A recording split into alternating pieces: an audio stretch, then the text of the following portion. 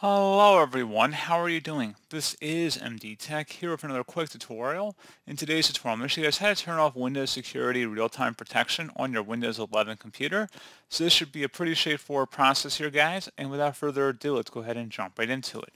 So all you have to do is open up the search menu, search for Windows Security. Best match, will come back with Windows Security. Go ahead and open that up.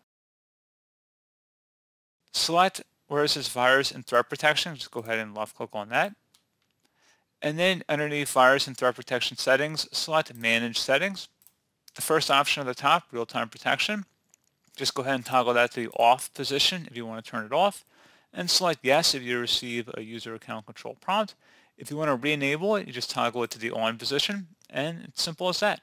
So, as always, thank you guys for watching this brief tutorial. I do hope I was able to help you out, and I do look forward to catching you all in the next tutorial. Goodbye.